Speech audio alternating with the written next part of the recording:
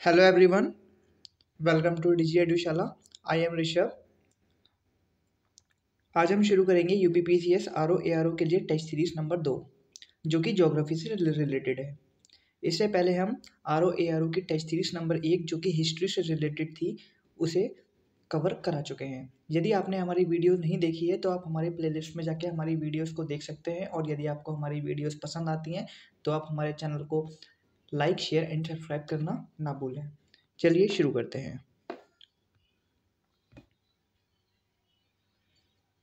इसमें सबसे पहला क्वेश्चन है, निम्नलिखित ग्रहों को उनकी सूर्य से बढ़ती दूरी के बढ़ते क्रम में व्यवस्थित कीजिए और नीचे दिए कूटों में सही उत्तर चुनें।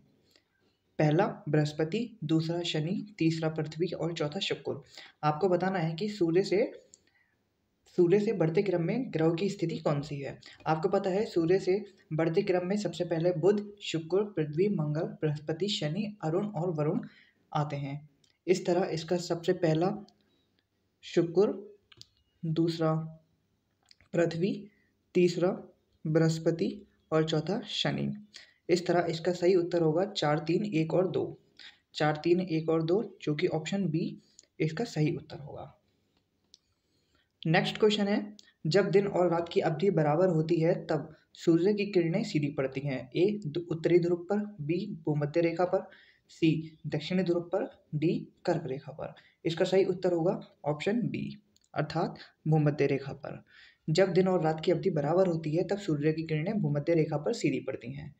नेक्स्ट क्वेश्चन है, सूची एक को सूची दो से सुमिलित करना है और आपको बताना है कि कौन सा सही सुमिलित दे रखा है। इसमें एक तरफ़ पृथ्वी की उत्पत्ति के सिद्धांत और दूसरी तरफ़ जिसे उसने प्रतिपादित किया है, उसके नाम दे रखे हैं। आपको बताना है कि कौन सी सही सुमेलित है। निहारिका परिकल्पना। निहारिका परिकल्पना, जो कि लाप्लास से संबंधित है। ग्रहाणु परिकल्पना। ग्रहाणु परिकल्पना चैम्बरलेन तथा मोल्टन से संबंधित है। द्वैतारक संकल्पना। द्वैतारक संकल्पना, एच एल रसेल तथा लिटी लिटन से संबंधित है। और अंतर तारक धूल परिकल्पना, जो कि आर्टोशमेट से संबंधित है। इस तरह इसका सही उत्तर होगा ऑप्शन सी। तीन, एक, चार और दो। नेक्स्ट क्वेश्चन है, परतदार चट्टान के विषय में दिए गए निम्नलिखित कथनों पर विचार कीजिए। पहला है, ये चट्टानें पृथ्वी की सतह पर जलीय तंत्र द्वारा निर्मित होती हैं। दूसरा है, इसके निर्माण में पूर्व विद्यमान चट्टानों का क्षरण सम्मिलित होता है। तीसरा, परतदार चट्टान जीवाश्म हीन होती हैं और चौथा, इन चट्टानों में परतें पाई जाती हैं। आपको बताना है कि इनमें कौन कौन से सही सुमिलित सही हैं? आपके पास ऑप्शन है ए, एक और दो, बी, एक दो और चार, सी, एक और तीन, डी, एक दो, तीन और चार। इसका सही उत्तर होगा ऑप्शन बी। अर्थात एक, दो और चार, यह सही है। लेकिन परतदार चट्टान जीवाश्महीन नहीं, बल्कि जीवाश्म जीवाश्म रहित होती हैं। मतलब इनमें जीवाश्म पाया जाता है। इस तरह यह तीसरा गलत होगा। नेक्स्ट क्वेश्चन है। निम्नलिखित में से कौन समूह से संबंधित नहीं है? ए नीस बी बालू का पत्थर सी चूना पत्थर और डी शेल इसका सही उत्तर होगा ऑप्शन ए अर्थात नीस।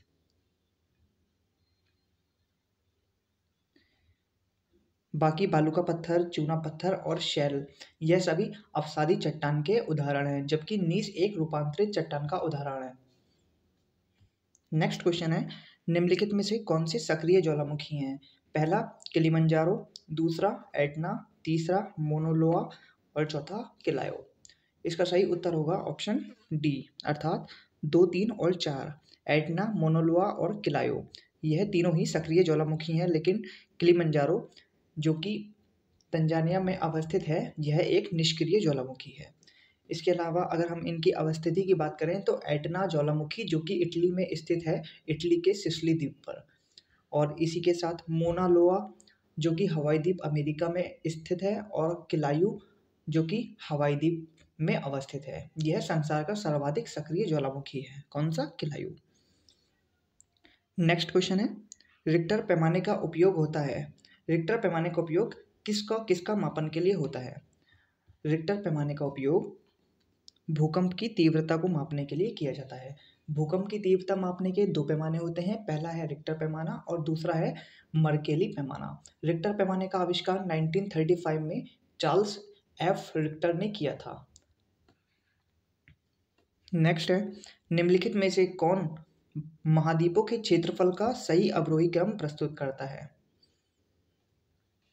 आपको बताना है कि क्षेत्रफल के महाद्वीपों का अवरोही क्रम मतलब कि सबसे पहले सबसे बड़ा बड़ा महाद्वीप, उसके बाद उससे छोटा, उसके बाद उससे छोटा, आपको ऐसे व्यवस्थित करना है। इसमें सही ऑप्शन है ऑप्शन सी अफ्रीका अफ्रीका के बाद उत्तरी अमेरिका उत्तरी अमेरिका के बाद अंटार्कटिका और अंटार्कटिका के बाद यूरोप। यूरोप जो कि सबसे छोटा महाद्वीप है।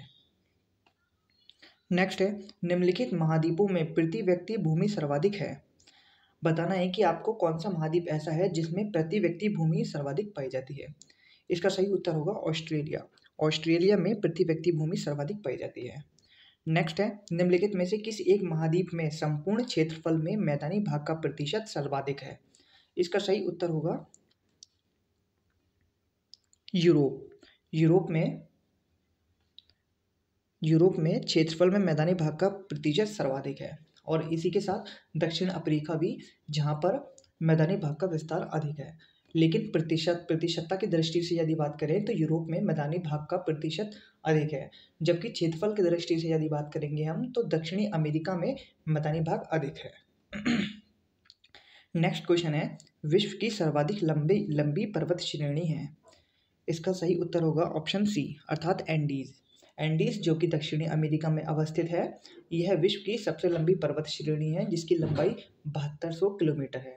इसका सर्वोच्च शिखर, जो कि आकांका गुआ है, एंडीज दक्षिण अफ्रीका दक्षिण अमेरिका में सात देश, Colombia, Argentina, Chile, Bolivia, Peru, Ecuador और वेनेजुएला में विस्तृत है, और इसका सर्वाधिक विस्तार चिली में है। नेक्स्ट क्वेश्चन है आल्प्स पर्वत श्रेणी निम्नलिखित में से किस देश का हिस्सा नहीं है? आपको बताना है कि आल्प्स पर्वत इनमें से कौन से देश में अवस्थित नहीं है? आपके ऑप्शन है A, France, B, Germany, C, England और चार, और डी ऑस्ट्रेलिया। इसका सही उत्तर होगा सी, इंग्लैंड। आल्प्स पर्वत का विस्तार फ्रांस, ऑस्ट्रेलिया, जर्मनी एवं स्विट्जरलैंड में है। और आल्प्स पर्वत का सर्वोच्च शिखर, जो कि माउंट ब्लॉक है, जिसकी ऊंचाई 4810 मीटर है। लेकिन इसका विस्तार इंग्लैंड में नहीं है। इस तरह इसका सही ऑप्शन सी होगा। नेक्स्ट है, आपको सुमिलित करना है। आपको एक तरफ़ मरुस्थल और दूसरी तरफ़ उसे संबंधित देश दिए हैं। आपको बताना है कि इनमें से कौन सा सही सुमिलित नहीं है। इसमें गोबी मरुस्थल, जो कि मंगोलिया में अवस्थित है, यह एकदम ठीक है। काराकुम, जो कि तुर्कमेनिस्तान में है, यह भी ठीक है। और गिब्सन, ऑस्ट्रेलिया और तकला मकान, उज्बेकिस्तान। तकला मकान उज्बेकिस्तान में ना होकर तकला मकान चीन में अवस्थित है। इस तरह इसका सही उत्तर होगा ऑप्शन डी। नेक्स्ट है, इसमें आपको बताना है कि सही जोड़ा कौन सा है। इसमें एक तरफ़ देश और दूसरी तरफ़ उससे, उसके घास के मैदान दे रखे हैं। आपको बताना है कि इनमें कौन सा सही दे रखा है। केन्या। केन्या केन्या में कंपोस्ट घास के मैदान पाए जाते हैं। तो यह गलत है, क्योंकि कंपोस्ट घास के मैदान ब्राज़ील की उच्च भूमि में पाए जाते हैं। अर्जेंटीना अर्जेंटीना में पंपास पाया जाता है, यह एकदम ठीक है। वेनेजुएला वेनेजुएला में सवाना घास के मैदान पाए जाते हैं, यह भी गलत है। सवाना घास के मैदान केन्या एवं तंजानिया, जो कि पूर्वी अफ्रीका का भाग है, वहाँ पाए जाते हैं। और स्टेपीज यूएसए में पाया जाता है तो यह गलत है, क्योंकि स्टेपीज यूएसए में न नहीं पाया जाता है। यह यूरेशिया में पाया जाता है। इस तरह इसका सही उत्तर होगा option B, Argentina Pampas. Next है, हॉर्न ऑफ़ अफ्रीका के अंग हैं। इसका सही उत्तर होगा सोमालिया, इथोपिया और Djibouti. Horn of Africa, Somali प्रायद्वीप पूर्वी अफ्रीका में तिकोना निकला हुआ भाग है। इसमें जिबूती, इथोपिया, इरिटेरिया और सोमालिया सम्मिलित हैं। यह अरब सागर में सैकड़ों किलोमीटर तक फैला है और अदन की खाड़ी के दक्षिणी किनारे पर स्थित है। यह अफ्रीकी महाद्वीप का सबसे पूर्वी विस्तार है। नेक्स्ट क्वेश्चन है, निम्नलिखित में से कौन सा एक युग्म सही सुमेलित है? Ghana, Accra, Namibia, Windhoek, Uganda Abuja और जाम्बिया लुसाका इसमें आपको एक तरफ़ देश और दूसरी तरफ़ उनकी राजधानी दे रखी है। आपको बताना है कि इनमें से कौन सा सही सुमेलित है। सही सुमेलित नहीं है।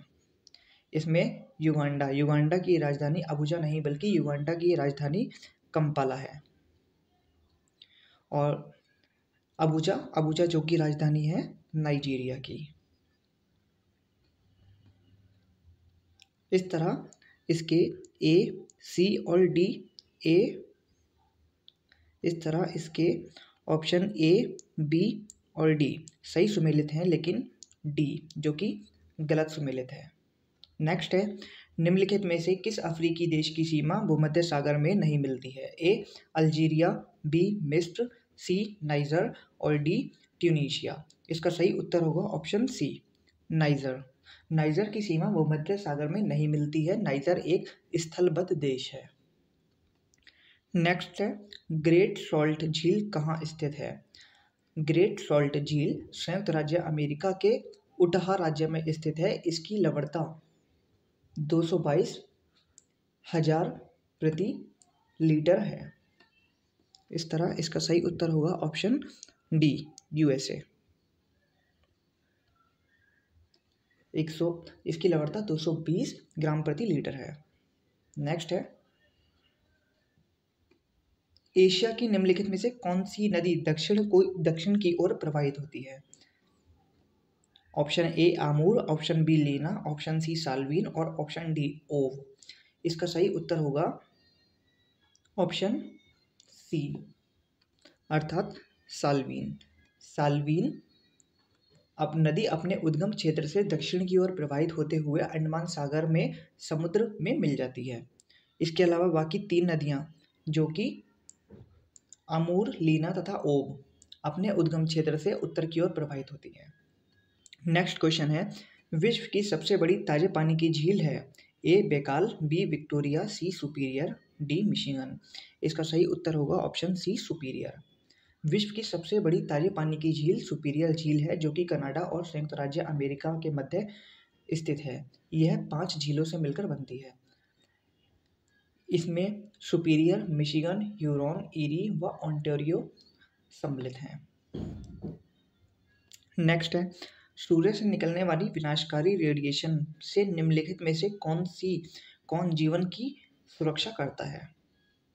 इसका सही उत्तर होगा ऑप्शन डी। अर्थात बी और सी दोनों, स्ट्रेटोस्फेयर और ओजोन की परत, जो कि सूर्य से निकलने वाली विनाशकारी रेडिएशन से हमारी सुरक्षा करती हैं। नेक्स्ट है, सूची एक को सूची दो से मिलाना है। आपको बताना है कि इनमें कौन सा सही सुमेलित दे रखा है। एक तरफ़ तूफ़ान और दूसरी तरफ़ उनसे संबंधित देश दे रखे हैं। आपको बताना है कि इनमें कौन सा सुमेलित है। विली विली विली विली का संबंध ऑस्ट्रेलिया से है। हरिकेन हरिकेन जो कि संयुक्त राज्य अमेरिका से संबंधित है और टाइफून, जो कि चीन से संबंधित है और बागियू बागियू, जो कि फिलीपींस से संबंधित है। इस तरह इसका सही उत्तर होगा ऑप्शन बी, अर्थात दो, चार, एक और तीन। नेक्स्ट है, निम्नलिखित में से कौन सा युग्म सही सुमेलित नहीं है? आपको एक तरफ़ चलने वाली हवाएँ और दूसरी तरफ़ उनसे संबंधित क्षेत्र दे रखे हैं। आपको बताना है कि कौन सा इसमें सही सुमेलित नहीं है। फ़ोन आल्प्स पर्वत, जो कि एकदम ठीक है। सिमूम अरब मरुस्थल यह भी ठीक है। सांता आना न्यूजीलैंड सांता आना न्यूजीलैंड नहीं, बल्कि दक्षिणी कैलिफ़ोर्निया में चलने वाली शुष्क स्थानीय पवन है। इसलिए ऑप्शन सी गलत है। और खमसिन, जो कि मिस्र में चलती है, यह भी ठीक है। खमसिन मिस्र में प्रवाहित होने वाली गर्म हवा है। इस तरह इसका सही उत्तर होगा ऑप्शन सी नेक्स्ट है, निम्नलिखित में से कौन सा पृथ्वी के अधिकतम प्रतिशत क्षेत्र पर फैला हुआ है?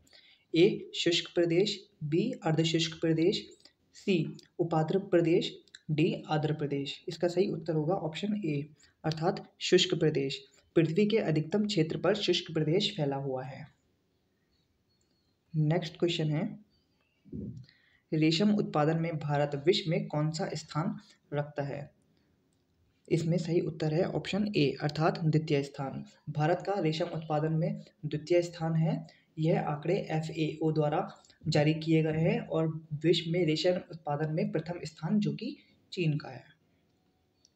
नेक्स्ट है, निम्नलिखित देशों में कौन विश्व में लो अयस्क का वृहत्तम उत्पादक है? A, Bharat, B, Brazil, C, चीन, डी, ऑस्ट्रेलिया। इसका सही उत्तर है ऑप्शन डी, अर्थात ऑस्ट्रेलिया। ऑस्ट्रेलिया, जो कि विश्व में लौह अयस्क का वृहत्तम उत्पादक देश है। अगर हम लौह अयस्क उत्पादन की बात करें तो सबसे पहले ऑस्ट्रेलिया का स्थान आता है। ऑस्ट्रेलिया के बाद ब्राज़ील। ब्राज़ील के बाद चाइना। और चौथे नंबर पे हमारे प्यारे भारत का स्थान आता है। यदि पूछा जाए तो लौह अयस्क उत्पादन में भारत का स्थान जो कि चौथा होगा। नेक्स्ट क्वेश्चन है, दक्षिण पूर्वी एशिया का सबसे बड़ा खनिज तेल उत्पादक देश है। A, Thailand, B, Indonesia, C, Malaysia, D, Myanmar. इसका सही उत्तर होगा ऑप्शन बी, इंडोनेशिया। इंडोनेशिया दक्षिण पूर्व एशिया का सबसे बड़ा खनिज तेल उत्पादक देश है। नेक्स्ट क्वेश्चन यूरेनियम का सर्वाधिक भंडार अवस्थित है। ए, ऑस्ट्रेलिया में, बी, कनाडा में, सी, रूस में, डी, ब्राज़ील में। इसका सही उत्तर होगा ऑप्शन ए, अर्थात ऑस्ट्रेलिया में। यूरेनियम का सर्वाधिक भंडार ऑस्ट्रेलिया में अवस्थित है। और यदि हम यूरेनियम का सबसे बड़ा उत्पादक देश की बात करें तो सबसे बड़े उत्पादक देश में कजाकिस्तान आता है। कजाकिस्तान, जो कि यूरेनियम का सबसे बड़ा उत्पादक देश है ऑस्ट्रेलिया, जो कि यूरेनियम का सबसे बड़ा भंडारण करता है। नेक्स्ट है, बुशमैन का संबंध है।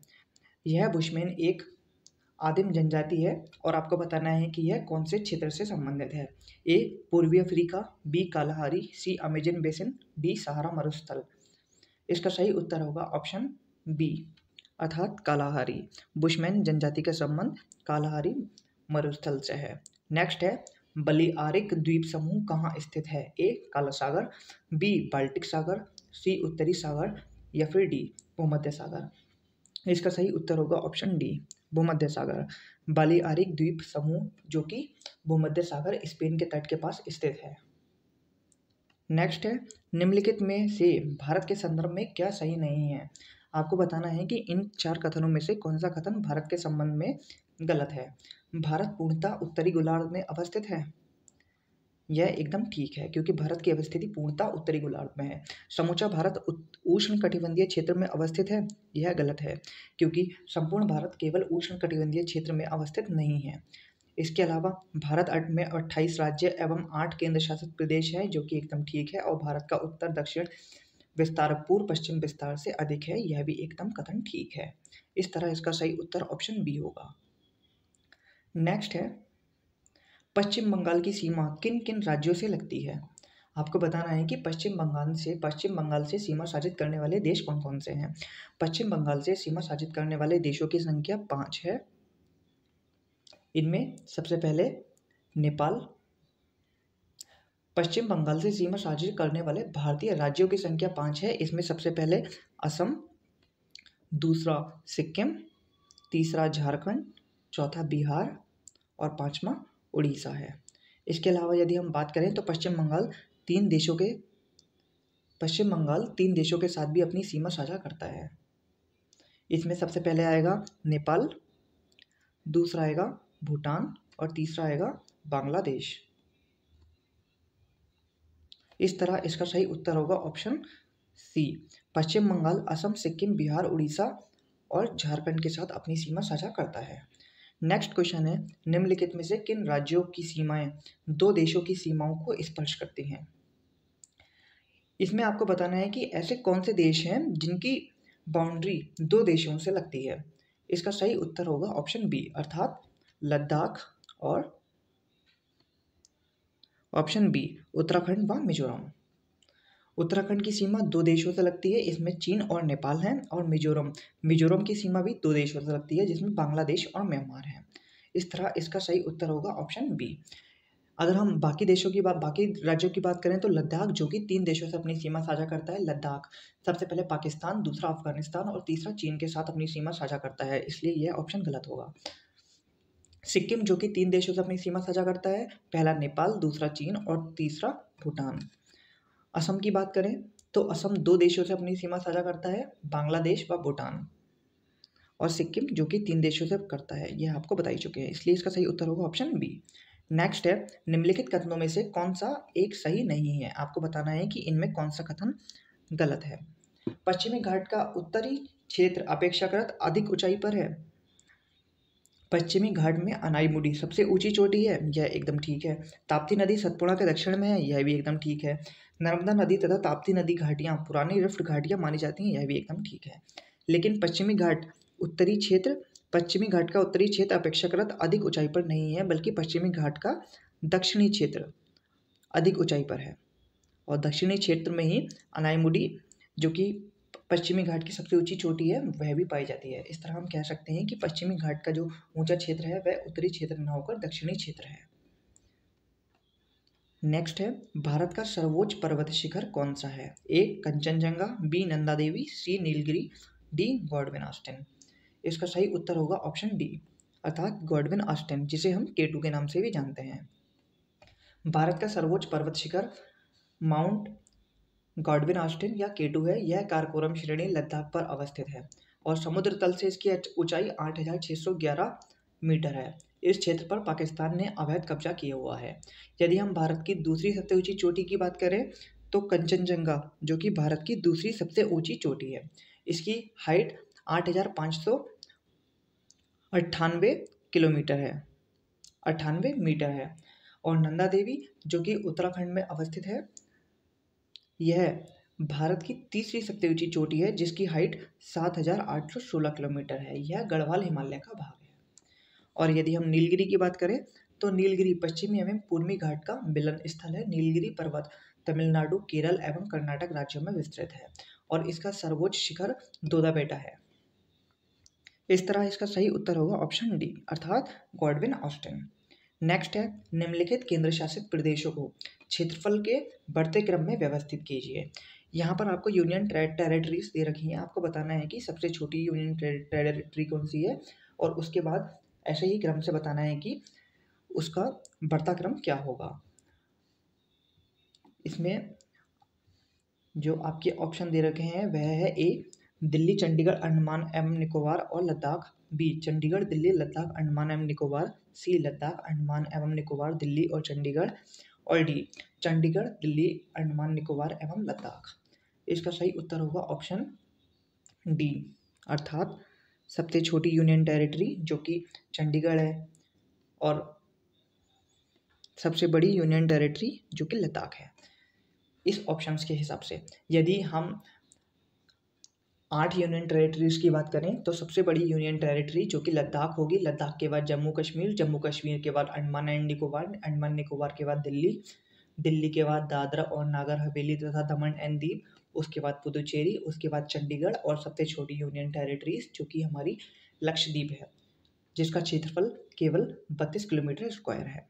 अब यदि हम मोटा मोटा इसमें से याद रखना चाहें तो हम सबसे बड़ी यूनियन टेरिटरी जो कि लद्दाख है और सबसे छोटी यूनियन टेरिटरी जो कि लक्षद्वीप है। इस तरह इसका सही उत्तर होगा ऑप्शन डी। नेक्स्ट है, निम्नलिखित कथनों में से कौन सा कथन सही नहीं है? आपको बताना है कि इनमें से कौन सा चारों में से गलत है। भारत के संविधान में अनुसूचित जनजाति की कोई परिभाषा नहीं है। कुल जनजाति आधे से अधिक भाग उत्तरी पूर्व, उत्तर पूर्वी भारत में है। यह कथन गलत है, क्योंकि कुल जनजाति का आधे से अधिक भाग उत्तर पूर्वी भारत में नहीं है। उत्तर पूर्वी भारत में ग्यारह से बारह परसेंट के बीच में केवल जनजातियाँ पाई जाती हैं। इसके अलावा सी, जारवा जनजाति, अंडमान एवं निकोबार द्वीप की प्रमुख जनजाति है, यह भी ठीक है, और टोडा कहलाने वाले लोग नीलगिरी क्षेत्र में पाए जाते हैं, यह भी ठीक है। और भारत के संविधान में अनुसूचित जाति की कोई परिभाषा भी नहीं दी गई है। नेक्स्ट है गंगा नदी की एकमात्र सहायक नदी जो मैदानी क्षेत्र से उद्गमित होती है, निम्नलिखित में से कौन सी है? आपके पास ऑप्शन है A, Son, B, Gomti, C, Ramganga और डी, बेतवा। इसका सही उत्तर होगा ऑप्शन बी, अर्थात गोमती नदी। गोमती नदी का उद्गम क्षेत्र गोमत ताल से है, जो कि फुलहर झील से प्रवाहित होती है। यह जिला पीलीभीत, उत्तर प्रदेश में अवस्थित है। यह गंगा नदी की एक, एकमात्र सहायक नदी है, जिसका उद्गम क्षेत्र मैदान से होता है।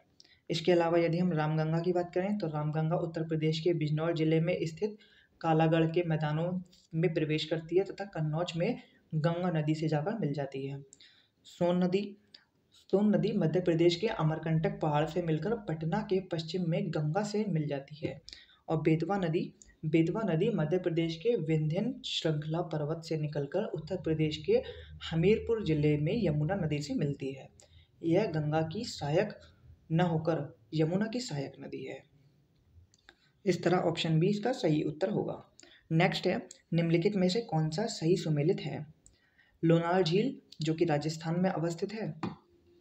यह गलत है, क्योंकि लोनार झील राजस्थान में नहीं, बल्कि महाराष्ट्र में अवस्थित है। नक्की झील, जो कि गुजरात में अवस्थित है, नक्की झील गुजरात में नहीं, बल्कि राजस्थान में अवस्थित है। सूरजकुंड झील उत्तराखंड में अवस्थित है, सूरजकुंड झील उत्तराखंड नहीं, बल्कि हरियाणा में अवस्थित है। और हमीरसर झील, जो कि गुजरात में अवस्थित है, यह एकदम ठीक है। इस तरह इसका सही उत्तर होगा ऑप्शन डी नेक्स्ट है। भारत के किस भाग में शीतकाल में वर्षा होती है? ए उत्तर पश्चिम बी उत्तर पूर्व सी दक्षिण पूर्व डी ए और सी दोनों। इसका सही उत्तर होगा ऑप्शन डी अर्थात ए और सी दोनों, भारत में उत्तर, पश्चिम और दक्षिणी पूर्व, दोनों ही क्षेत्रों में शीतकालीन वर्षा होती है। और शीतकालीन वर्षा का कारण जो कि पश्चिमी विक्षोभ माना जाता है। पश्चिमी विक्षोभ से होने वाली वर्षा पंजाब में गेहूँ की खेती करने वाले किसानों के लिए अत्यधिक लाभदायक भी होती है। नेक्स्ट है आपको सूची एक और सूची दो दे रखी है। सूची एक में जलाशय और सूची दो उससे संबंधित राज्य दे रखे हैं। आपको बताना है इसमें कौन सा सही सुमिलित है। भद्रा, जो कि कर्नाटक से संबंधित है। भवानी सागर, जो कि तमिलनाडु से संबंधित है। और गांधी सागर, जो कि मध्य प्रदेश से संबंधित है। और राणा प्रताप सागर, जो कि राजस्थान से संबंधित है। इस तरह इसका सही उत्तर होगा ऑप्शन डी। अर्थात एक, चार, दो और तीन। नेक्स्ट क्वेश्चन है, किस राज्य द्वारा भारत में सर्वाधिक रबड़ का उत्पादन किया जाता है? A Karnataka B Andhra Pradesh C Kerala और डी तमिलनाडु। इसका सही उत्तर होगा ऑप्शन सी अर्थात केरल। केरल, जो जो कि भारत में सर्वाधिक रबड़ उत्पादन किया जाता है। और केरल के बाद यदि दूसरे नंबर पर बात करें तो केरल के बाद दूसरे नंबर पर तमिलनाडु का स्थान होता है, जो कि रबड़ उत्पादन दूसरे नंबर पर सबसे अधिक करता है।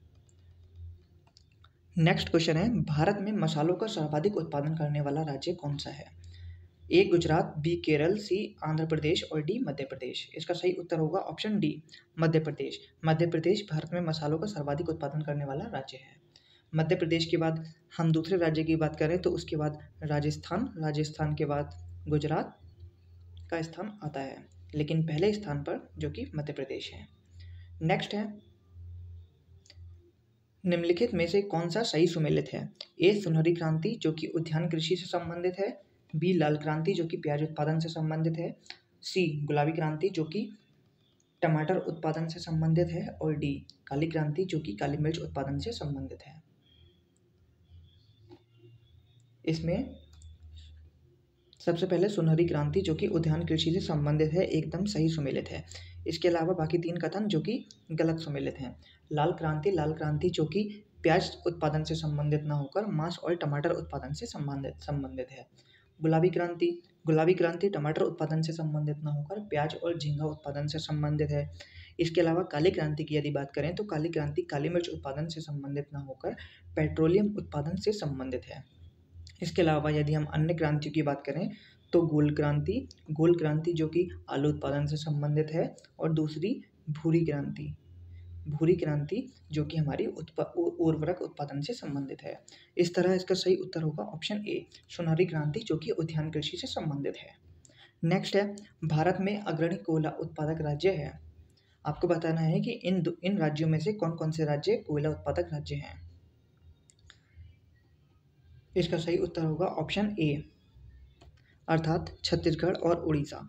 छत्तीसगढ़ और उड़ीसा जो कि भारत के अग्रणी कोयला उत्पादक राज्य हैं। इसके अलावा यदि हम बात करें तो मध्य प्रदेश, झारखंड और तेलंगाना में भी कोयला पाया जाता है, लेकिन सबसे अधिक कोयला छत्तीसगढ़ और उड़ीसा में पाया जाता है। नेक्स्ट है, निम्नलिखित राज्यों को उनके समुद्री सीमा के घटते हुए क्रम में व्यवस्थित कीजिए। आपको बताना है कि ऐसे कौन से राज्य हैं जिनके पास समुद्री सीमा सर्वाधिक है और ऐसे कौन से राज्य हैं जिनके पास समुद्री सीमा न्यूनतम है? इनको आपको क्रम में व्यवस्थित करना है। इसका सही उत्तर होगा ऑप्शन ए आंध्र प्रदेश, तमिलनाडु उड़ीसा और पश्चिम बंगाल। यदि हम बात करें आंध्र प्रदेश आंध्र प्रदेश के बाद तमिलनाडु तमिलनाडु के बाद महाराष्ट्र महाराष्ट्र के बाद केरल केरल के बाद गुजरात गुजरात के बाद उड़ीसा और उड़ीसा के बाद पश्चिम बंगाल। यह हमारा क्रम है जिनके पास समुद्री सीमा घटते हुए क्रम में है। और अगर हम ऑप्शन के हिसाब से बात करें तो ऑप्शन के हिसाब से आंध्र प्रदेश, तमिलनाडु उड़ीसा और पश्चिम बंगाल सही उत्तर होगा। नेक्स्ट है, गोंडवाना क्षेत्र में किस प्रकार के कोयले का भंडार सर्वाधिक है? इसका सही उत्तर होगा ऑप्शन बी बिटुमंस बिटुमंस कोयला, जो कि भारत में नब्बे प्रतिशत कोयला लगभग बिटुमंस प्रकार का ही कोयला पाया जाता है, और गोंडवाना क्षेत्र, जो कि बिटुमंस कोयले के भंडारण से ही संबंधित है। भारत में सर्वाधिक टीन उत्पादित करने वाला राज्य कौन सा है? A Orissa B Chhattisgarh C Jharkhand, और डी राजस्थान। इसका सही उत्तर होगा ऑप्शन बी अर्थात छत्तीसगढ़। भारत में टीन का भंडार सीमित है। भारत में टीन का उत्पादन करने वाला एकमात्र राज्य छत्तीसगढ़ है तथा टीन का उत्पादन करने वाली सभी कंपनियाँ छत्तीसगढ़ में ही अवस्थित हैं। इस तरह ऑप्शन बी इसका सही उत्तर होगा। नेक्स्ट है, एक तरफ़ आपको कोयला क्षेत्र दे रखे हैं और दूसरी तरफ़ उनसे संबंधित राज्य एवं क्षेत्र दे रखे हैं। आपको बताना है कि कौन सा सही सम्मिलित है। सिंगरौली। सिंगरौली जो कि सोन नदी घाटी में विस्तृत कोयला क्षेत्र है। इसलिए सिंगरौली का संबंध सोन नदी घाटी से होगा। झरिया कोयला क्षेत्र जो कि झारखंड के धनबाद ज़िले में अवस्थित है और सिंगरेनी सिंगरेनी जो कि गोदावरी घाटी में स्थित है और कोरबा जो कि छत्तीसगढ़ में अवस्थित है। इस तरह इसका सही उत्तर होगा ऑप्शन सी। चार तीन एक और दो। नेक्स्ट है, भारतीय भूभाग में पाई जाने वाली मिट्टी का सर्वाधिक भाग है। भारत में पाई जाने वाली सर्वाधिक प्रकार की मिट्टी कौन सी है? वो है कछारी मृदा। कछारी मृदा, जिसे हम जलोढ़ मृदा भी कहते हैं, यह लगभग 40 प्रतिशत भाग पर भारत में पाई जाती है। इसका निर्माण हिमालय तथा प्रायद्वीप से प्राप्त मलबा तथा अपसारी सागर द्वारा छोड़े गए गाद द्वारा हुआ है। यह मिट्टी पंजाब से असम तक के विशाल मैदानी भागों के साथ साथ नर्मदा, ताप्ती, महानदी, गोदावरी, कृष्णा और कावेरी घाटियों में भी फैली हुई है। इस तरह ऑप्शन बी इसका सही उत्तर होगा। नेक्स्ट है, द्वितीय हरित क्रांति के संबंध में निम्नलिखित पर विचार कीजिए और बताइए कि इनमें कौन सा सही सुमिलित है। द्वितीय हरित क्रांति, इसका लक्ष्य प्रथम हरित क्रांति में प्रयुक्त हो चुकी फ़सलों को छोड़कर अन्य फ़सलों के उत्पादन में वृद्धि करना था। यह कथन गलत है। क्योंकि इसमें सभी फ़सलों को साथ में लेकर उत्पादन को बढ़ाने पर विशेष बल दिया गया था। द्वितीय हरित क्रांति में पशुपालन, सामाजिक वानिकी तथा मत्स्य पालन को भी शामिल किया गया था। यह एकदम ठीक है। इसका लक्ष्य हरित क्रांति से अब तक लाभान्वित न हो सकने वाले क्षेत्रों में बीज, पानी, उर्वरक एवं तकनीकी का विस्तार करना था। यह भी एकदम कथन ठीक है। इस तरह ऑप्शन दो और तीन इसके सही सुमिलित हैं इस तरह ऑप्शन सी इसका सही उत्तर होगा। नेक्स्ट है कथन कारण भारत में कथन ए, भारत में पश्चिमी तट की तुलना में पूर्वी तट में धान का उत्पादन अधिक होता है, जिसका कारण है भारत के पूर्वी तट पर पश्चिमी तट की तुलना में अधिक वर्षा होती है। इसका कथन एकदम ठीक है, लेकिन कारण गलत है, क्योंकि पूर्वी तट की अपेक्षा अधिक वर्षा पश्चिमी तट पर होती है। इसलिए ऑप्शन सी इसका सही उत्तर होगा। नेक्स्ट है, भारतीय शाकबाजी अनुसंधान संस्थान स्थित है। इसका सही उत्तर होगा ऑप्शन डी, अर्थात उत्तर प्रदेश। भारतीय शाकबाजी अनुसंधान संस्थान जो कि बनारस में अवस्थित है, यह 1999 में स्थापित किया गया था। नेक्स्ट है, निम्नलिखित में से कौन सा सही सुमिलित है? एक तरफ़ आपको शिपयार्ड दे रखे हैं और दूसरी तरफ़ उनसे संबंधित राज्य। गार्डन रिच शिपयार्ड जो कि कोलकाता में अवस्थित है, यह गलत है, क्योंकि यह कोलकाता नहीं, बल्कि पश्चिम बंगाल में अवस्थित है। हिंदुस्तान शिपयार्ड हिंदुस्तान शिपयार्ड मुंबई में अवस्थित न होकर आंध्र प्रदेश में अवस्थित है। कोचिन शिपयार्ड कोचिन शिपयार्ड जो कि केरल में अवस्थित है और मजगांव शिपयार्ड मजगांव शिपयार्ड जो कि महाराष्ट्र में अवस्थित है।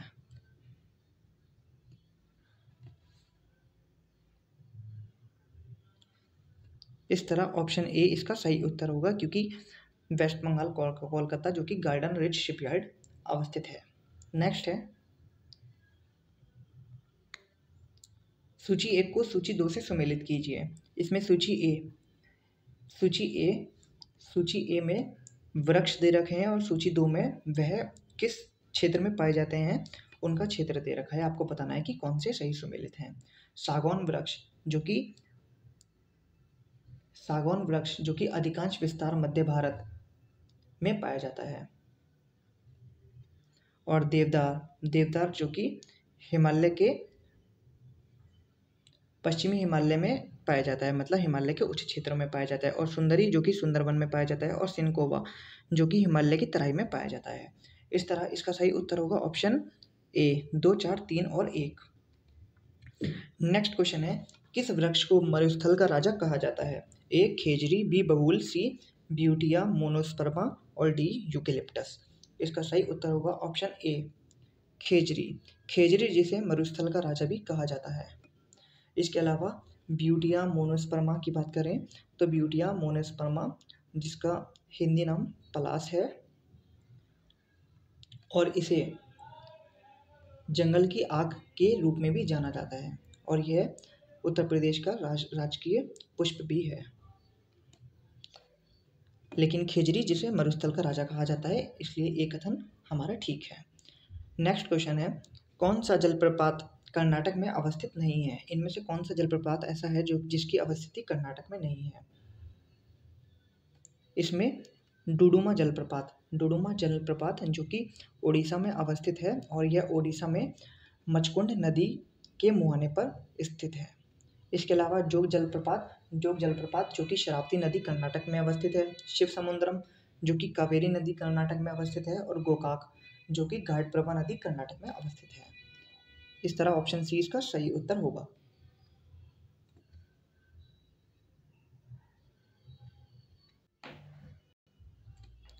नेक्स्ट क्वेश्चन है, कथन कारण।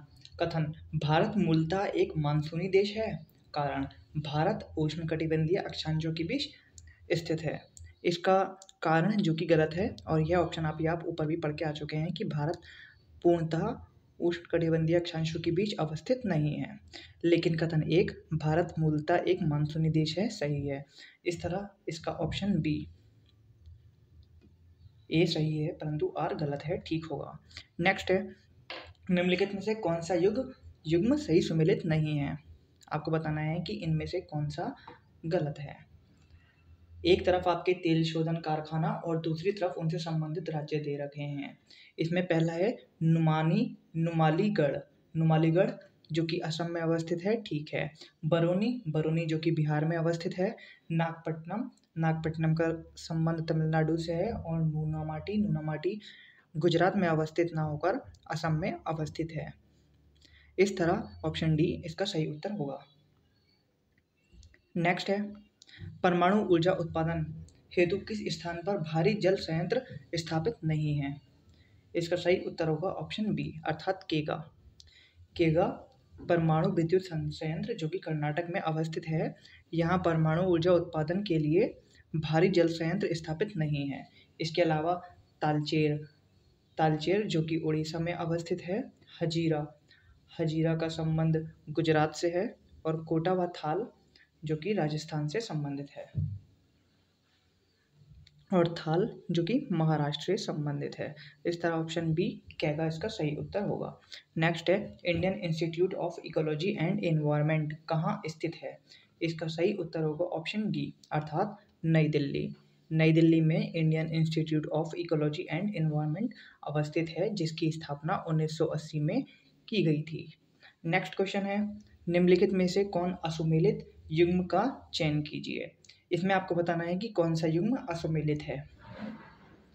इसमें पहला है, विश्व ओजोन दिवस, जो कि 16 सितंबर को मनाया जाता है। एकदम ठीक है। विश्व पृथ्वी दिवस, जो कि 22 अप्रैल को मनाया जाता है। यह भी ठीक है। और विश्व वानिकी दिवस, जो कि 22 मार्च नहीं 21 मार्च को मनाया जाता है। इस तरह ऑप्शन सी इसका गलत उत्तर होगा। इसके अलावा विश्व जनसंख्या दिवस, जो कि ग्यारह जुलाई को मनाया जाता है।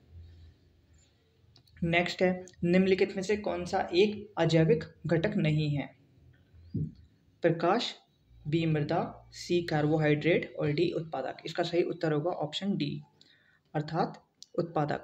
उत्पादक जो कि एक अजैविक घटक ना होकर जैविक घटक है। अजैविक घटकों में वायु, तापमान, वायुदाब, आर्द्रता, उच्चावच, स्थलाकृति इत्यादियों को सम्मिलित किया जाता है। यह सभी निर्जीव घटक हैं। जो कि जैविक घटकों को नियंत्रित करते हैं।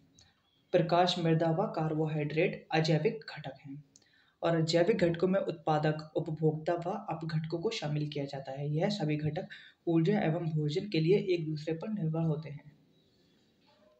नेक्स्ट है, सूची एक को सूची दो से सम्मिलित करना है। एक तरफ़ परियोजना और दूसरी तरफ़ उनके प्रारंभ वर्ष दे रखे हैं। आपको बताना है कि कौन से सुमिलित हैं। हाथी परियोजना। हाथी परियोजना जो कि 1992 में स्टार्ट की गई थी। इसके अलावा लाल पांडा परियोजना, लाल पांडा परियोजना की शुरुआत उन्नीस सौ छियानवे में की गई थी। बाघ परियोजना जो कि उन्नीस सौ तिहत्तर से संबंधित है और हांगुल परियोजना जो कि 1970 से संबंधित है। इस तरह ऑप्शन तीन, चार, एक और दो सही होगा इसका। तीन, चार, एक और दो ऑप्शन सी। नेक्स्ट है, एक जलीय जीव की सेहत ज्ञात करने के लिए किसकी गणना की जाती है। एक जलीय जीव की सेहत का ज्ञान करने के लिए हमें घुली हुई ऑक्सीजन जिसे बायोलॉजिकल ऑक्सीजन डिमांड भी कहते हैं, के द्वारा गणना की जाती है। इस तरह ऑप्शन ए इसका सही उत्तर होगा। नेक्स्ट है। पारिस्थितिकी तंत्र में विभिन्न पोषण स्तर में ऊर्जा का स्थानांतरण का नियम कहलाता है। ऊर्जा के स्थानांतरण का दस प्रतिशत का नियम, पारिस्थितिकी तंत्र में ऊर्जा स्थानांतरण का नियम कहलाता है। इसमें ऊर्जा स्थानांतरण में, क्योंकि पारिस्थितिकी तंत्र में हमेशा ऊर्जा का स्थानांतरण एक पोषण स्तर से दूसरे पोषण स्तर में होता है। ऊर्जा का यह स्थानांतरण सदैव एक दिश, एक दिशीय होता है। और प्रत्येक पोषण स्तर में ऊर्जा के स्थानांतरण के दौरान उसमें कमी होती है। इससे ही ऊर्जा स्थानांतरण का दस प्रतिशत का नियम कहा जाता है, क्योंकि यह कमी लिंडमैन के दस प्रतिशत नियम के अनुसार होती है। नेक्स्ट है, मॉन्टेरियल, मॉन्ट्रियल सम्मेलन 1987 में कौन सा बड़ा फैसला लिया गया था? इसका सही उत्तर है ऑप्शन ए, विकसित देशों पर वर्ष 2000 तक पूरी तरह से सीएफसी उत्पादन पर प्रतिबंध लगाएँगे। यह फैसला 1987 में मॉन्ट्रियल सम्मेलन के दौरान लिया गया था। मॉन्ट्रियल प्रोटोकॉल एक अंतर्राष्ट्रीय संधि है, जो ओजोन परत संरक्षण के लिए मुख्य रूप से उत्तरदायी है। मॉन्ट्रियल प्रोटोकॉल के अंतर्गत उन रासायनिक पदार्थों के उत्सर्जन को कम करना होता है, जो ओजोन परत को क्षीण करने के लिए जिम्मेदार हैं। नेक्स्ट है, विश्व वन्यजीव कोष, अर्थात वर्ल्ड वाइड फंड का प्रतीक चिन्ह क्या है? इसका सही उत्तर होगा ऑप्शन बी, सफ़ेद पांडा, जो कि डब्ल्यू का प्रतीक चिन्ह है। और डब्ल्यू की स्थापना उनतीस अप्रैल नाइनटीन सिक्सटी वन में की गई थी और जिसका मुख्यालय स्विट्ज़रलैंड में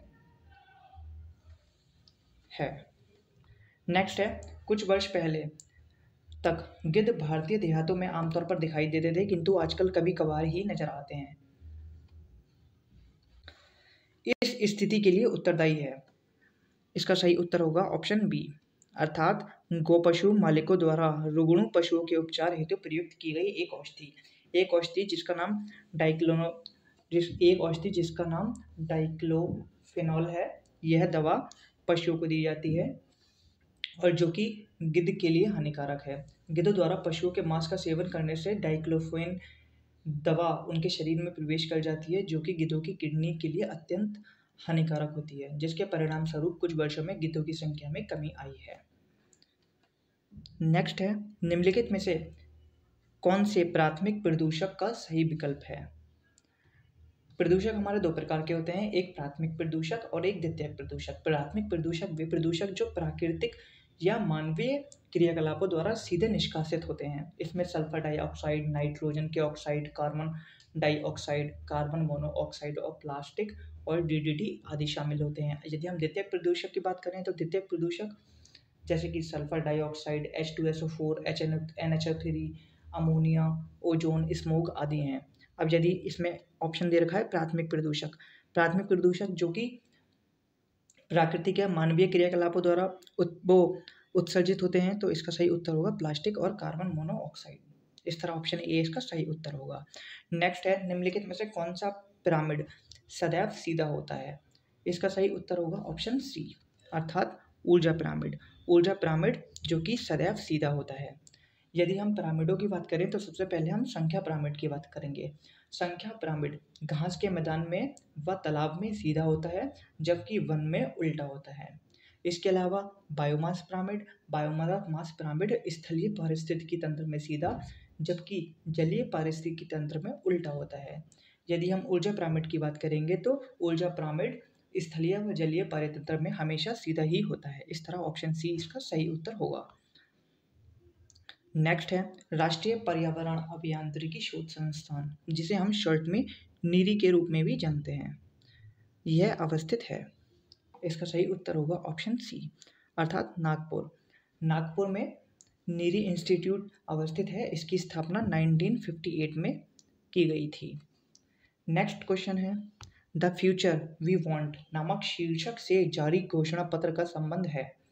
ए, रॉटरडम अभिसमय से। बी, स्टॉकहोम अभिसमय से। सी, जोहान्सबर्ग पृथ्वी सम्मेलन से। डी, रियो प्लस ट्वेंटी सम्मेलन से। इसका सही उत्तर होगा option D. The future we want नामक शीर्षक रियो प्लस ट्वेंटी सम्मेलन से संबंधित है। अब हम इसमें कुछ मैथ्स के क्वेश्चन देखेंगे। इसमें मैथ्स के क्वेश्चन लगभग दस से बारह होंगे, जिन्हें हम ऐसे ही सॉल्व करने का प्रयास करेंगे। पहला क्वेश्चन है, निम्नलिखित में से कौन सबसे बड़ा है? आपको बताना है, इन चारों कथनों में से सबसे बड़ा कौन सा है? यह संख्या हमारी है चार सही एक बटा तीन छः सही एक बटा चार, पाँच सही पंद्रह सही एक बटा छः और दो सौ पैंतालीस सही एक बटा बारह। आपको बताना है कि इनमें से सबसे बड़ी संख्या कौन सी है? अब हमें इसमें देखना है कि सबसे बड़ा इधर तीन, चार छः और बारह में से सबसे बड़ा बारह है। अब हम इन सबको बारह बनाने का प्रयास करेंगे। बारह बनाने के प्रयास के लिए इसमें हमें चार से इंटू करना होगा, इसमें हमें तीन से इंटू करना होगा और इसमें हमें दो से इंटू करना होगा। इसके बाद यह जो भी संख्या बनेंगी, इनका जो हमारा सम निकलेगा, उसमें सबसे बड़ी संख्या हमारी दो सौ पैंतालीस सही एक बटा बारह होगी। इस तरह ऑप्शन डी इसका सही उत्तर होगा। यदि हम इसे शॉर्ट में लिख कर दिखाएँ तो इसे हम दो सौ पैंतालीस को वर्ग में लिखेंगे और ऐसे ही पंद्रह की बात करेंगे तो पंद्रह को हम छः के वर्ग में लिखेंगे। लेकिन हमें छः बारह बनाने के लिए हमें इसमें दो से गुणा करनी पड़ेगी, इसलिए बारह इंटू दो सौ पच्चीस होगा। यह इससे छोटा है, इसलिए ऑप्शन डी इसका सही उत्तर होगा। नेक्स्ट है, एक भिन्न दे रखी है, आपको बताना है कि इसका सही उत्तर क्या होगा। इसमें हम इसे सरलतम रूप में यदि सॉल्व करें तो हम इसे one plus eleven plus one one one plus one one one one plus one by two plus one by two plus one by two plus one by two के रूप में लिखेंगे। और यदि हम यहाँ से टू का एल्शियम ले लेंगे तो यहाँ सब जगह two plus two plus two plus two eight हो जाएगा।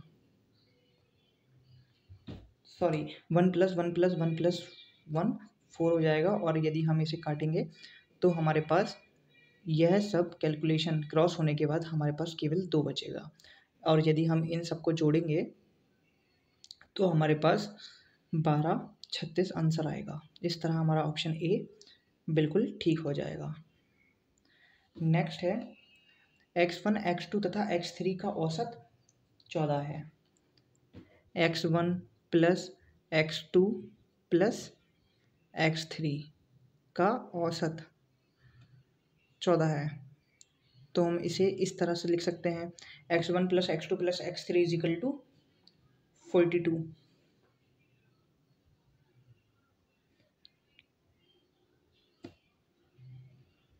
क्योंकि चौदह की हम तीन से गुणा करा देंगे, चौदह तिया बयालीस होता है। और यह हमारी इक्वेशन एक हो जाएगी। इसके आगे हम पढ़ेंगे। एक्स वन और एक्स टू के योग का दो गुना तीस है। अब हम लिखेंगे X one plus X two के योग का दो गुना तीस है। अब हम इस दो को यदि हम नीचे भेज देंगे तो यह कट जाएगा और यहाँ बचेगा पंद्रह। इस तरह हमारे पास दूसरी इक्वेशन बनेगी X one plus X two equal to fifteen अब हमारे पास दो इक्वेशन बन जाएँगी X one plus X two plus X three equal to forty two और X one plus X two equal to पंद्रह। अब हम इसमें से एक्स वन और एक्स टू की वैल्यू को यहाँ पर पुट करेंगे। एक्स वन और एक्स टू की वैल्यू कितनी थी? हमारी पंद्रह थी। अब हम एक्स थ्री की यदि हमें वैल्यू निकालनी है तो एक्स थ्री की वैल्यू निकालने के लिए हम पंद्रह बयालीस में से पंद्रह माइनस कर देंगे। एक्स थ्री की वैल्यू के लिए हम बयालीस में से यदि पंद्रह को माइनस करेंगे तो हमारे पास सत्ताईस आंसर आ जाएगा, जो कि हमारा ऑप्शन ए सेटिस्फाई करता है। नेक्स्ट है रुपये चार सौ पच्चीस को चार पुरुषों, पाँच महिला तथा छः बच्चों में नौ अनुपात, आठ अनुपात, चार के अनुपात में बांटा जाता है। तो एक पुरुष का हिस्सा कितने रुपए होगा? इसे सॉल्व करने के लिए हमें चार पुरुषों को नौ हिस्सा देना है। इसके बाद पाँच महिलाओं को आठ हिस्सा देना है और इसके बाद छः बच्चों को चार हिस्सा देना है। यदि हम इसे सॉल्व करें तो छत्तीस प्लस चालीस प्लस चौबीस हो जाएगा। और यदि हम इसे सॉल्व करेंगे तो यह सॉल्व करने के बाद हमारे पास सौ आ जाएगा। अब हमें केवल संपूर्ण धनराशि में चार पुरुषों का हिस्सा ज्ञात करना है। अब हमें, हमारे पास टोटल था चार सौ पच्चीस रुपये चार सौ पच्चीस का पुरुष का हिस्सा कितना है? नाइन इंटू फोर और इसका हमें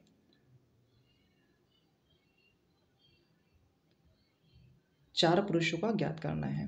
अब हम इस इक्वेशन को यदि हम सॉल्व करेंगे तो चार से चार क्रॉस हो जाएगा और इसे हम सॉल्व करने के बाद thirty eight point twenty five rupees प्राप्त करेंगे। आप इसे कैलकुलेट करके देख लीजिए। नेक्स्ट क्वेश्चन है, एक रेलवे स्टेशन पर एक डाउन ट्रेन प्रति दो मिनट तथा एक अप ट्रेन प्रति तीन मिनट पर गुजरती है। तो बताइए कि तीस मिनट में कितनी ट्रेन गुजरेंगी? अब हमें तीस मिनट की बात करनी है। तीस मिनट में डाउन ट्रेन प्रति दो मिनट में गुजरती है। अब डाउन ट्रेन अगर तो दो मिनट में गुजरती है तो इस हिसाब से टोटल पंद्रह डाउन डाउन ट्रेन गुजरेंगी। और अब ट्रेन की बात करें तो तीस मिनट में टोटल तीन मिनट पर एक डाउन एक एक अप ट्रेन गुजरती है। तो इस तरह से यदि हम काटेंगे तो दस अप ट्रेन गुजरेंगी। और हम पंद्रह प्लस दस को जोड़ देंगे तो हमारे पास टोटल पच्चीस आएगा, जो कि हमारा डी सेटिस्फाई करता है। नेक्स्ट है,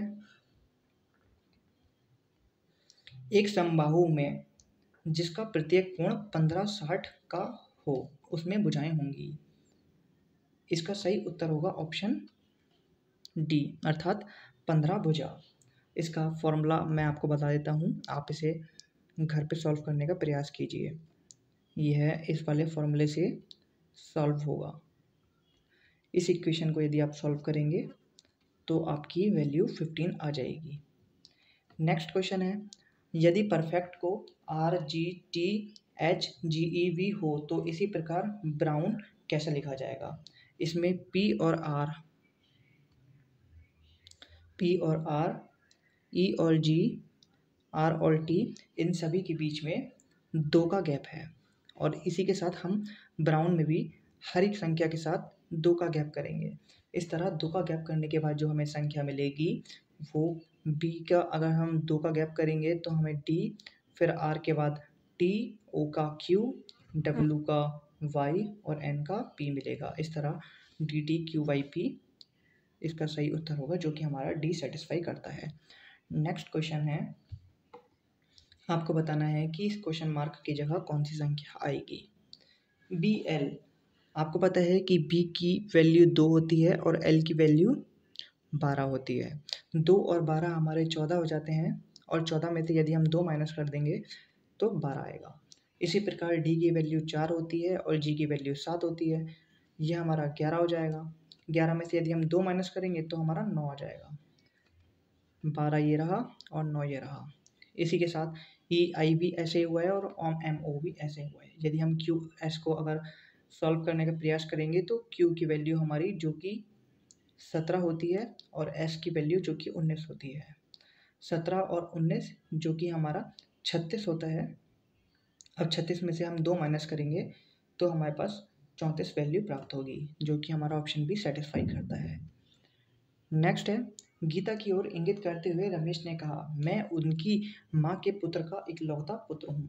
गीता का रमेश से क्या संबंध है? गीता के माँ की पुत्र, गीता का भाई हुआ और गीता के भाई का इकलौता पुत्र रमेश है। इसलिए गीता रमेश की बुआ होगी। ऑप्शन सी इसका सही उत्तर होगा।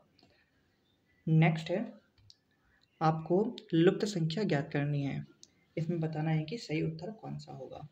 दो प्लस तीन बराबर हमारा पाँच होता है और तीन प्लस पाँच हमारा आठ होता है और पाँच प्लस आठ हमारा पाँच प्लस आठ हमारा, पाँच प्लस तीन हमारा आठ होता है और आठ प्लस चार हमारा बारह होता है और बारह प्लस पाँच हमारा सत्रह होता है। इसमें हर संख्या, जैसे दो प्लस एक बराबर तीन आया और तीन प्लस दो बराबर पाँच आया। अब पाँच प्लस चार, पाँच प्लस तीन बराबर आठ आया। मतलब कि हर संख्या। एक, दो, तीन, चार, पाँच छः सात, आठ ऐसे करके कैलकुलेट होती जाएगी। इसलिए हमें तेईसवीं संख्या गिननी है। तो तेईसवीं संख्या एक, दो, तीन, चार, पाँच छः और तेईसवीं संख्या के साथ हम सात अगर जोड़ देंगे तो हमें तीस प्राप्त होगा, जो कि ऑप्शन सी सेटिस्फाई करता है। इस तरह हमारे क्वेश्चंस जो कि मैथ्स के थे, पूर्णतः सॉल्व हो चुके हैं। अब हम थोड़े से करंट अफेयर के क्वेश्चंस देखते हैं। इसमें सबसे पहला क्वेश्चन है यूएस चैम्बर ऑफ़ कॉमर्स द्वारा जारी अंतर्राष्ट्रीय बौद्धिक संपदा सूचकांक सन दो हज़ार बाईस में भारत को कौन सा स्थान प्राप्त हुआ था? इसका सही उत्तर होगा ऑप्शन ए तैतालीसवां स्थान। भारत को इसमें तैतालीसवां स्थान प्राप्त हुआ था। इसमें टोटल पचपन देश शामिल थे और यह इसका दसवां संस्करण आयोजित किया गया था।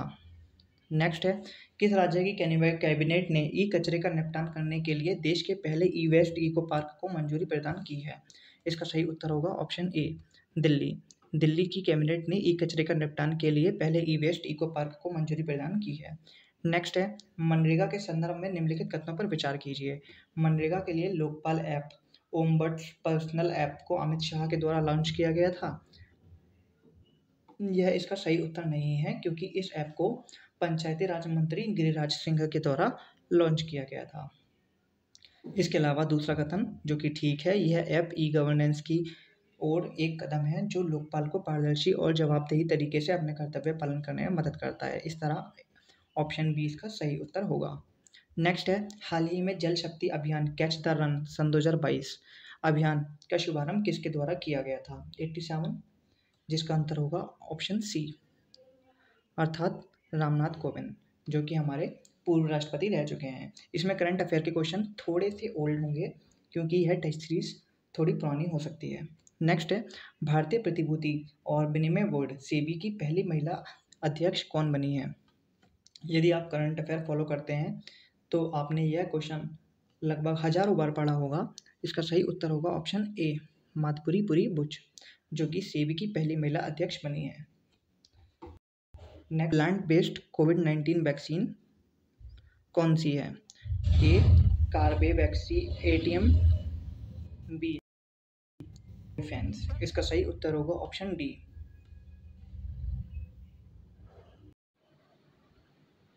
दुनिया की पहली plant based covid nineteen vaccine कौन सी है? A Corbe Corbevax A T M C B कोविस्पेसी C कोविसैम डी कोविफेंज इसका सही उत्तर होगा ऑप्शन डी। अर्थात कोबीफेंज कोबीफेंज जो कि दुनिया की पहली plant based covid nineteen vaccine है, इसका निर्माण कनाडा के द्वारा किया गया था। नेक्स्ट है, किसने मैक्सिको ओपन टेनिस टूर्नामेंट में पुरुष सिंगल वर्ग का खिताब जीता था? इसका सही उत्तर होगा option B, Rafael Nadal. Rafael Nadal ने मैक्सिनो, मैक्सिको ओपन टेनिस टूर्नामेंट में पुरुष सिंगल वर्ग में खिताब जीता था। नेक्स्ट क्वेश्चन है भारत में विश्व बैंक के किस प्रमुख को वैश्विक ऋणदाता संस्थान की एक प्रमुख एजेंसी का उपाध्यक्ष नियुक्त किया गया है? इसका सही उत्तर होगा ऑप्शन बी, जुनेद कमाल अहमद। जुनेद कमाल अहमद को विश्व बैंक के प्रमुख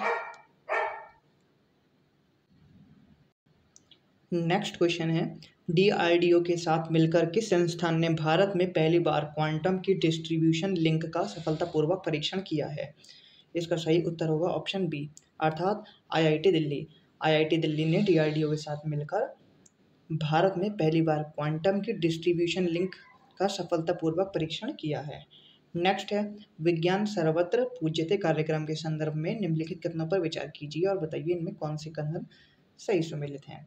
इसमें पहला है, इस कार्यक्रम का उद्घाटन नरेंद्र मोदी के द्वारा किया गया था। यह गलत है, क्योंकि इसका उद्घाटन नरेंद्र मोदी नहीं, बल्कि राष्ट्रपति रामनाथ कोविंद के द्वारा किया गया था। इसके अलावा छात्रों को दैनिक उपयोग की वस्तुओं के वैज्ञानिक ज्ञान की ओर आकर्षित करने के उद्देश्य से विज्ञान सर्वत्र पूज्य कार्यक्रम शुरू किया गया था। यह कथन ठीक है और तीसरा कथन भी ठीक है कि इस कार्यक्रम का उद्देश्य वैज्ञानिक सिद्धांतों का प्रचार करना था। इस तरह ऑप्शन दो और तीन, जो कि हमारे सी में है, इस तरह ऑप्शन सी सही है। नेक्स्ट है हाल ही में राष्ट्रपति रामनाथ कोविंद ने कहाँ पर आरोग्य वनम का उद्घाटन किया था? इसका सही उत्तर है ऑप्शन बी राष्ट्रपति भवन में राष्ट्रपति रामनाथ कोविंद ने आरोग्य वनम का उद्घाटन किया था।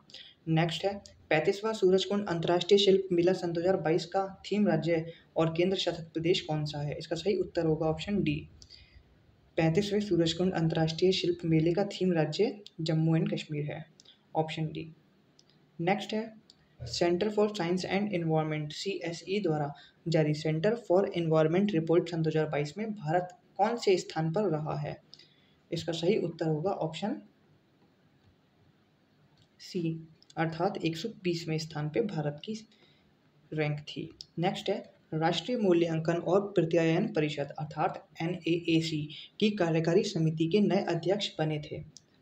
इसका सही उत्तर होगा ऑप्शन डी अर्थात भूषण पटवर्धन, जो कि एन समिति के नए अध्यक्ष बने थे।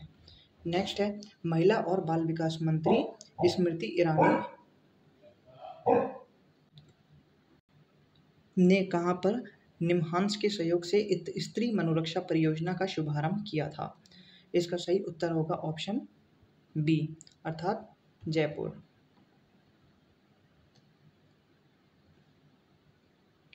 ऑप्शन बी अर्थात बेंगलुरु। बेंगलुरु में महिला और बाल विकास मंत्री स्मृति ईरानी ने निम्हांस के संयोग से स्त्री मनोरक्षा परियोजना का शुभारंभ किया था।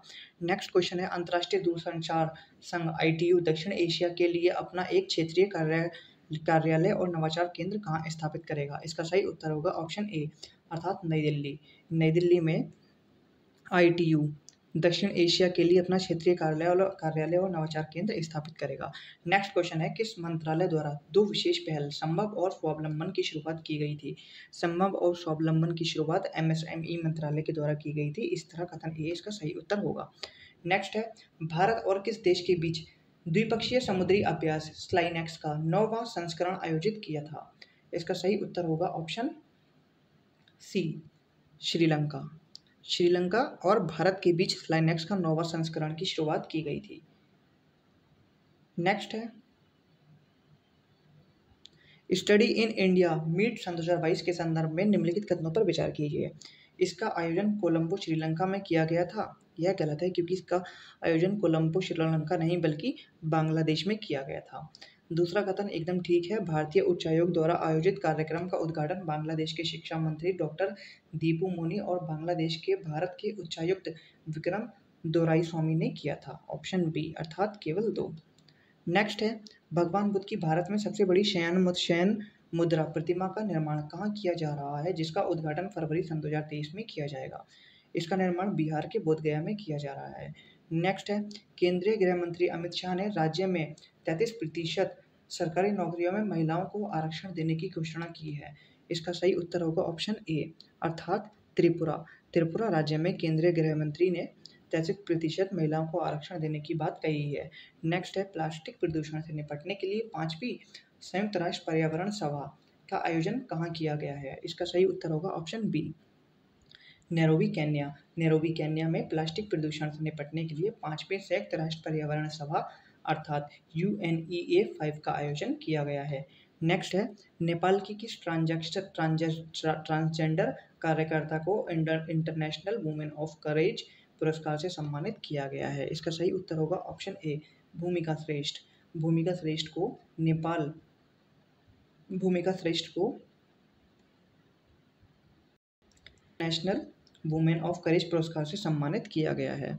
नेक्स्ट है कौन सा राज्य मिशन इंद्रधनुष के तहत नब्बे पॉइंट पाँच प्रतिशत पूर्ण टीकाकरण कवरेज के साथ सूची में सबसे ऊपर है। इसका सही उत्तर होगा ऑप्शन ए, उड़ीसा। उड़ीसा इसमें प्रथम स्थान पर है। नेक्स्ट है, भाषा सर्टिफिकेट सेल्फी अभियान किस मंत्रालय ने शुरू किया है? इसका सही उत्तर होगा ऑप्शन ए, शिक्षा मंत्रालय ने भाषा सर्टिफिकेट सेल्फी अभियान की शुरुआत की है। नेक्स्ट है, हाल ही में किस मंत्रालय द्वारा ग्रामीण स्वरोजगार प्रशिक्षण अर्थात rural self employment training institute जिसे हम रेस्टी के नाम से भी जानते हैं, की शुरुआत की गई थी। यह ग्रामीण विकास मंत्रालय के द्वारा शुरू किया गया था। नेक्स्ट है, किस संगठन ने प्रदूषणकारी वस्तुओं के आयात पर विश्व का पहला कार्बन डाइऑक्साइड उत्सर्जन शुल्क लगाने का फैसला लिया है? इसका सही उत्तर होगा ऑप्शन ए यूरोपीय संघ यूरोपीय संघ ने प्रदूषणकारी वस्तुओं पर टैक्स लगाने का फैसला लिया है। नेक्स्ट है, किस दशक में भारत की जनसंख्या वृद्धि दर में निरंतर घटने की प्रवृत्ति देखी गई है? इसका सही उत्तर होगा ऑप्शन सी अर्थात 1971 से भारत की जनसंख्या वृद्धि दर में निरंतर घटने की प्रवृत्ति देखी गई है। नेक्स्ट है, नीचे दिए गए राज्यों में किसका लिंगानुपात, राष्ट्रीय लिंगानुपात से कम है? आपके पास ऑप्शन है A Himachal Pradesh B Uttarakhand C Manipur और डी अरुणाचल प्रदेश। इसका सही उत्तर होगा ऑप्शन डी अरुणाचल प्रदेश। अरुणाचल प्रदेश का लिंगानुपात नौ सौ अड़तीस है और राष्ट्रीय लिंगानुपात, जो कि नौ सौ तैंतालीस है। इसलिए अरुणाचल प्रदेश का लिंगानुपात राष्ट्रीय लिंगानुपात से कम है। नेक्स्ट है, सन 2011 की अंतिम जनगणना रिपोर्ट के अनुसार किस राज्य या केंद्र शासित प्रदेश में अनुसूचित जाति पाई जाती है? इसका सही उत्तर होगा ऑप्शन ए मिजोरम। मिजोरम में अनुसूचित जाति पाई जाती है। इसके अलावा अरुणाचल प्रदेश, नागालैंड और लक्षद्वीप। यहाँ पर अनुसूचित जातियों की संख्या निवास नहीं करती है और सर्वाधिक एवं न्यूनतम अनुसूचित जनजाति, जनसंख्या वाले राज्य उत्तर प्रदेश हैं और सबसे कम अनुसूचित जनजाति वाले राज्य जो कि मिजोरम है। नेक्स्ट है। निम्नलिखित में से कौन सा कथन सही है? इसमें आपको चार कथन दे रखे हैं। इसमें आपको बताना है इन चारों में से कौन सा कथन सही है। इसमें ऑप्शन सी सन 2011 की जनगणना रिपोर्ट के अनुसार उत्तर प्रदेश की साक्षरता दर आंध्र प्रदेश की साक्षरता दर से अधिक है। यह कथन एकदम ठीक है, क्योंकि उत्तर प्रदेश की साक्षरता दर 67.7 प्रतिशत है, जबकि आंध्र प्रदेश की साक्षरता दर केवल 67 प्रतिशत है। इस तरह ऑप्शन सी इसका सही उत्तर होगा। नेक्स्ट है, निम्नलिखित में से किस राज्य की जनसंख्या अन्य तीनों से अधिक है? इसका सही उत्तर होगा ओडिशा। ओडिशा की जनसंख्या अन्य तीनों जन, राज्यों की जनसंख्या से अधिक है। नेक्स्ट है, निम्नलिखित में से कौन सा कथन सही नहीं है। इसका सही उत्तर होगा ऑप्शन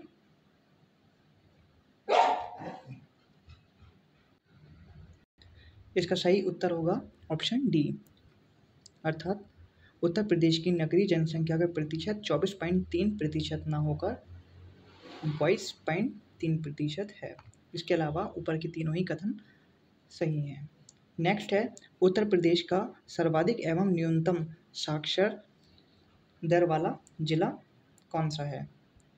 आपके पास ऑप्शन है ए, गौतम बुद्ध नगर एवं बदायूं बी, लखनऊ एवं रामपुर, सी, गौतम बुद्ध नगर एवं श्रावस्ती, डी, कानपुर एवं बहराइच। इसका सही उत्तर होगा ऑप्शन सी, गौतम बुद्ध नगर एवं श्रावस्ती।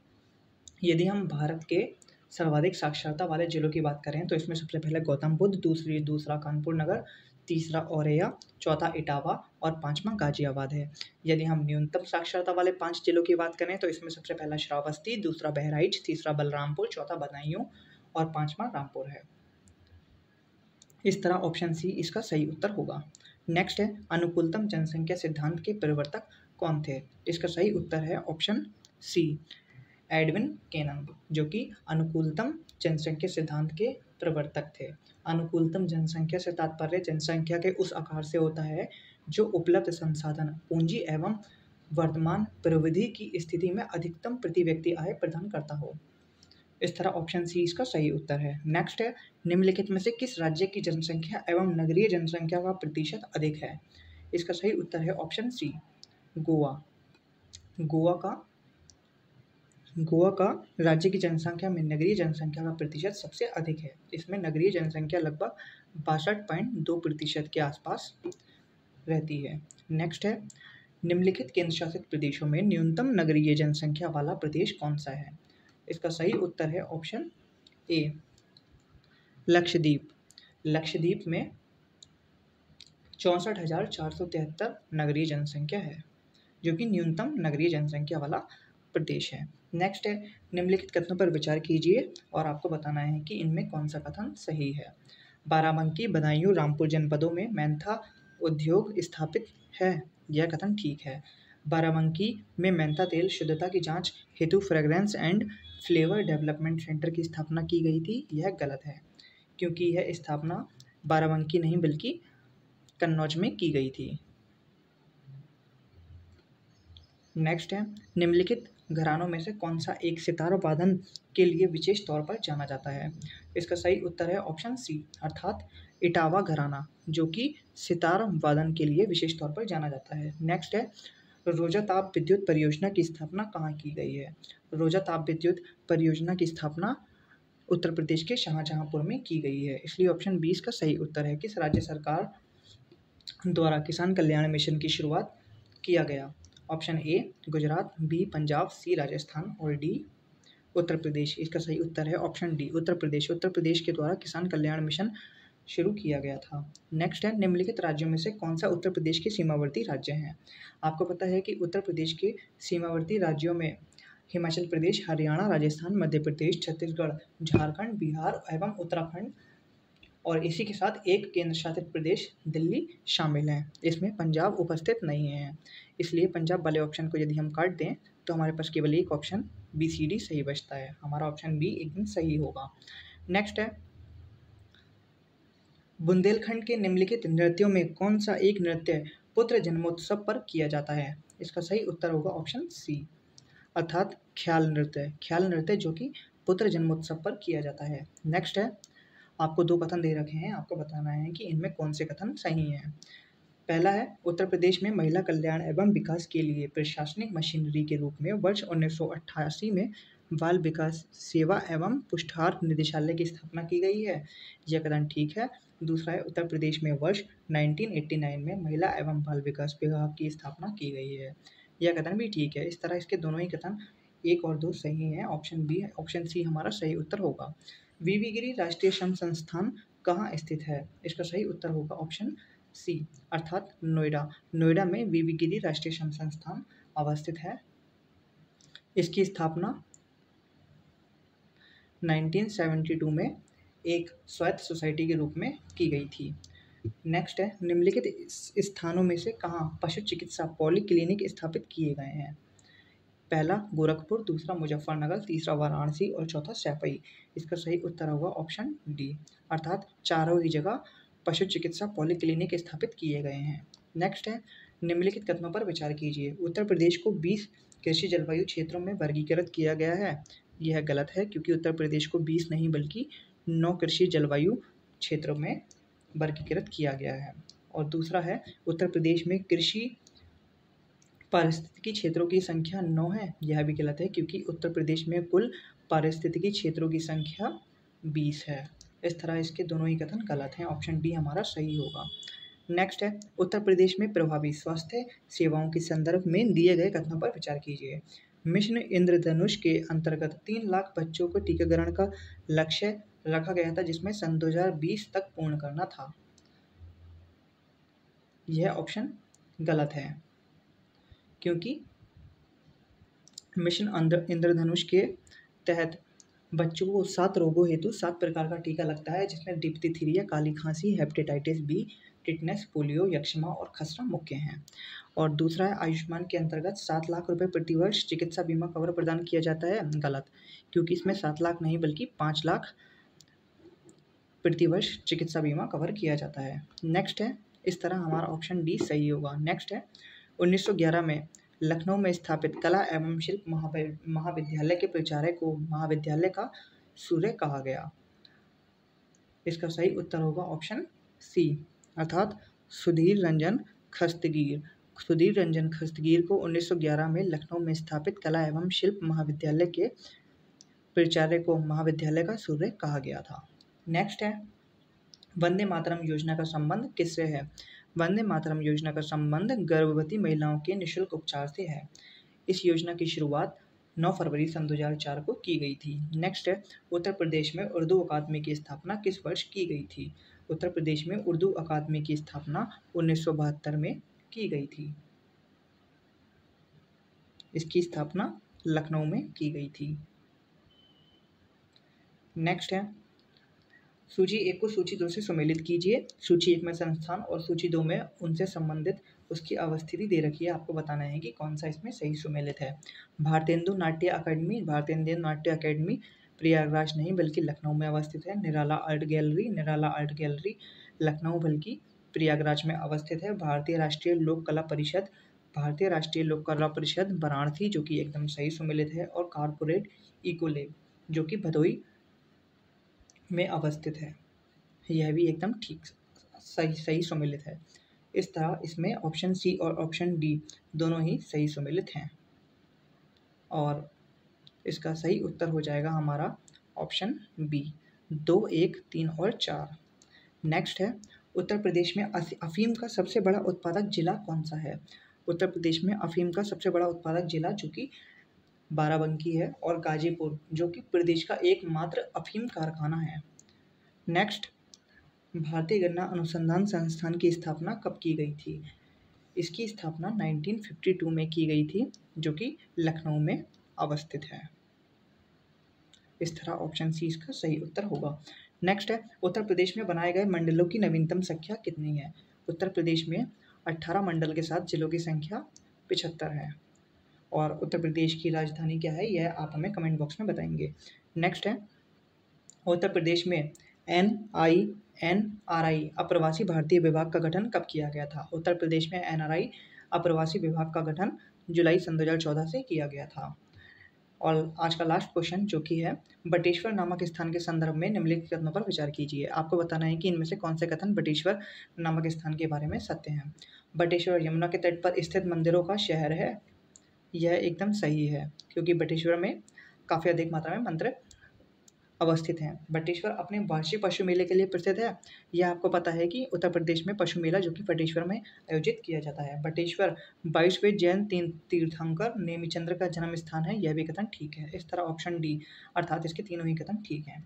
इस तरह हमारी टेस्ट सीरीज़ नंबर दो, जो कि जोग्राफी से संबंधित थी U P P C S R O A R O के लिए कंप्लीट करा दी गई है। यदि आपको हमारी वीडियोस पसंद आती हैं तो आप हमारे टेलीग्राम चैनल को ज्वाइन कर सकते हैं। और इसी के साथ यदि आपको हमारी पीडीएफ चाहिए तो आप हमारे टेलीग्राम चैनल को ज्वाइन कीजिए और हमारे चैनल को लाइक सब्सक्राइब एंड शेयर करना ना भूलें।